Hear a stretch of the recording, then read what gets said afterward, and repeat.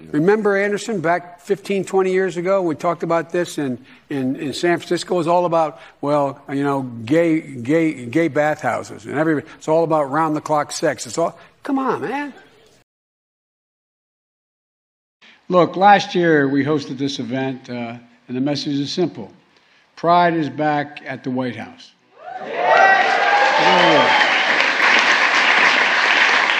From, from day one, from day one, this has been the most pro equality administration in history, led by guys like Pete Buttigieg.